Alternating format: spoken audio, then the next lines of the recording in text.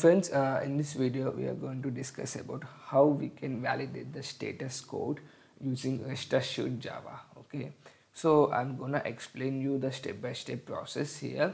Uh, what are the dependencies we needed, what is the request link I'm using and all those things I'm putting in the description so that it will be really helpful for you to again um, again uh, repeat the same process okay so let me get started here I have taken a one sample uh, project that is called REST.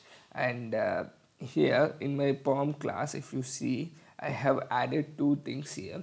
One is REST assured that is of 3.2.0 and Groovy of 2.5.4 version. These two I have added. So let me update them. REST assured of for type? REST assured of uh, uh, 3.2.0 and uh, Groovy scripting Groovy of 2.5.4 okay? So if you go to Maven repository um, if you go to Maven repository you will find all those things here okay? This is the one I am using 2.5.4 of Groovy scripting okay? And the latest version of TestNG sorry latest version obviously TestNG as well as rest assured here okay? So um, and another thing is like the request URL that I am using is postal code India okay? If you just go here postal code this again I am going to put in the description as well. This is a request that they have given. So I have utilized that request. I have given this one uh, that header. That is uh, that is nothing but a path parameter that we are going to discuss in a short while the pin code okay?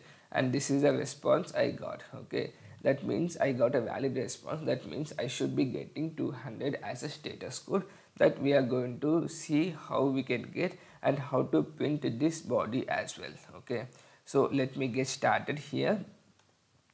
I have taken this particular thing. I have taken the same URL here in in a string okay? This is an empty class of testng I have invoked here okay? Imported testng then what I am going to do is first let me import this particular thing.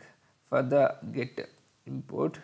Let me take it as static and um, io dot rest assured dot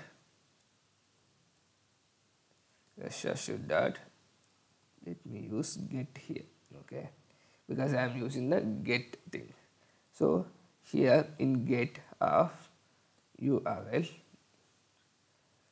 then what I'll be doing is like I'll be sending the then here okay? Then assert dot because I'm checking the assert here and status code of 200 okay? Then let me print everything log dot all okay?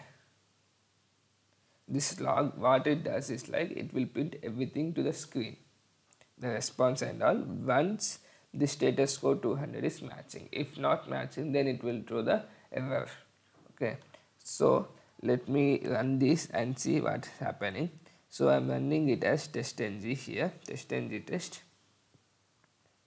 Now you can see i could find that uh, it found the detected testng version 6.1.4 and if i maximize it here now you can see I could able to run this particular test. No failures and no skips. So if I go here this is a body that I am getting. Why I am getting this body is like because I am using the uh, entire thing here. You can see this is the entire body I am getting because I am using the particular uh, log function here. Okay? And I am getting this body. So uh, because so I am getting the proper uh, contents here okay? So let me minimize it. And if I try to do something like 201 it is nothing but a new uh, response new resource created in the server side. Here no resource is created because we are only reading the resources from the server side okay? So I should be getting a failure here okay? Let me see that. Now you can see we got a failure here. We run one and we got a failure why we got a value is you can see expected status of status code 200 201 expected but it was 200 so what it is trying to say is like you are expecting a status code of 201 okay? But it is but we found only 200 this is what is trying to say here okay? So let me remove this one as well. Okay if I remove this log I'll be getting only the error code okay? Let me try that with 200 as well. Here I'll be getting the same error code but I want to show what happens if I remove the log okay? For the status code of 200 as well. Now you can see the same error might get printed yeah because last time execution not went till this uh, till the log statement. Now it will pass so uh, let me show what will happen if I remove the log.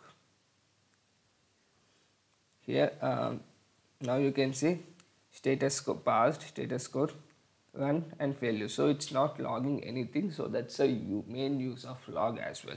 So uh, what we have learnt in this case. So response body using log log dot all we got the response body and status code experiments. Assert dot status code. We we explode these things here. Let me put it here. And request body request link.